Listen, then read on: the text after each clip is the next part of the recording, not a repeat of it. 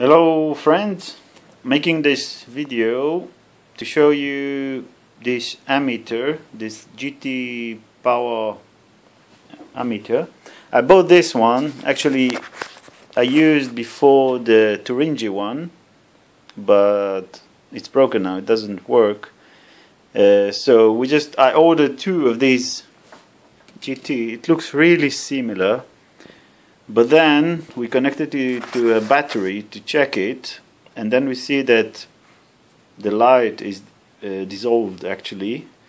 So I made another test, and then look what's happened when you change the voltage. This actually, this ammeter by the paper. Uh, let's see where it is.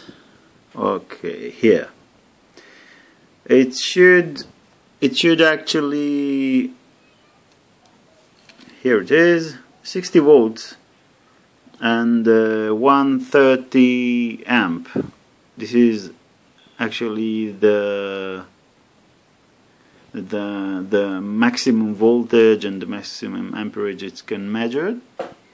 But let's see. I have here my voltmeter 48 and it's quite it's accurate but let's see what's happened when I'm rising up the voltage. Okay just rise up the voltage 50 boom done. This one stay for a little bit but look when I rise it up a little more so bloop 53 volts and this one blinks. Actually this ammeter um, can measure to 50 volts and not 60 and for us it's really really bad. We cannot use it because most of our battery packs that we working with is uh, 48 volts uh, nominal voltage. It means that when when it's when it's charged it, it go up to 54 55 56 sometimes. Uh, not mention the 60 volt uh, batteries that we cannot work with this ammeter and actually as I know this ammeter it should work. I don't know why it doesn't. Uh, so so sad you know I made all this circuit uh, made this backup battery now it's disconnected. I thought maybe this is it's caused but it's not the reason. Made all this backup battery with a small BMS here that it can back up the data when I measure the batteries but boom doesn't work now. I cannot use it.